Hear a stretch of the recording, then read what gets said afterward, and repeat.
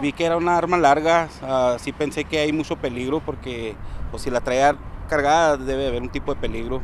Las fotos del hombre fuertemente armado comenzaron a circular a través de las redes sociales. El hombre caminaba con un rifle por una área desértica y calles de la zona este del Paso.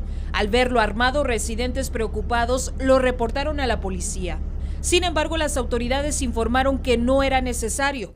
A través de su cuenta de Twitter, el Departamento de Policía aseguró tener conocimiento de un individuo portando un rifle caminando por el área de Battle.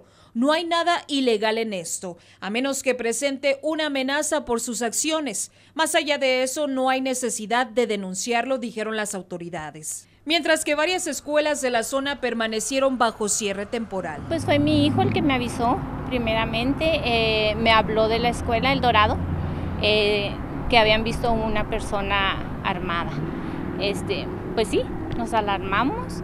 al ratito yo empecé a hablar con todas las personas, conocemos personas de otras escuelas, inclusive a la directora del Dorado. Este, le mandaron un mensaje, dijo que dentro de la escuela no estaba la persona, pero sí andaba en los alrededores. Las autoridades pidieron a la comunidad no alarmarse y aseguraron estar monitoreando la situación. Asimismo dijeron que el sujeto buscaba llamar atención. Está bien que ande armado, pero pues téngalo guardado, ¿no? Ah, porque ahí eh, yo pienso que es una amenaza de un tipo. Y bueno, es importante mencionar que intentamos obtener una entrevista en cámara con la policía del Paso, sin embargo, no respondieron nuestras llamadas. Reportando Stephanie Córdoba, Noticias, Univisión El Paso.